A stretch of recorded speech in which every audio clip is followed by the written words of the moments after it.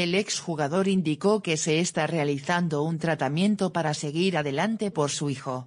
Hace dos semanas, el exfutbolista Ezequiel Pocho Lavezzi ingresó a una clínica porteña para recibir tratamiento por un trastorno psiquiátrico, según confirmó su abogado, Mauricio D'Alessandro.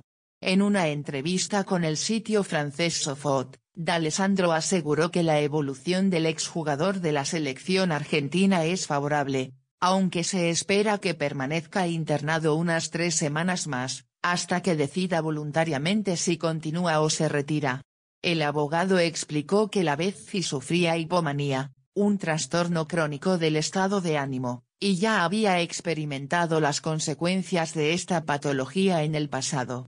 D'Alessandro aclaró que el tratamiento no se enfoca en el abuso de drogas o alcohol, sino en un trastorno psiquiátrico que puede provocar autolesiones y ser desencadenado por diversos factores. A finales de diciembre pasado, la Betsy fue internado en una clínica en Punta del Este, generando confusión sobre su estado de salud. Tras regresar a Argentina, hace dos semanas fue ingresado en una clínica de la ciudad, especializada en patologías psiquiátricas.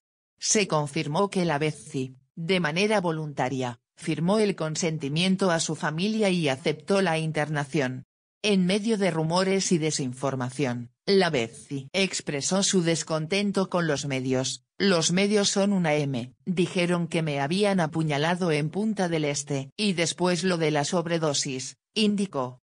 Afirmó que, a pesar de las dificultades, está decidido a reorientar su vida por su hijo. Ante las especulaciones, Tomás Lavezzi, hijo del exfutbolista, utilizó Instagram para desmentir los rumores, mi papá se encuentra bien y en tratamiento, dejen de inventar cosas que no son verdad. No tiene ninguna sobredosis ni nada de lo que dicen, aclaró. Germán Denis, compañero de Lavezzi en Napoli, compartió su perspectiva, lo vi hace poco, solo necesita recuperarse y pasar tiempo con su familia para recuperar el equilibrio. Poco a poco, sus cualidades irán aflorando y volverá a la grandeza. Su familia está cerca de él, y realmente necesita a las personas que lo aman, escribió.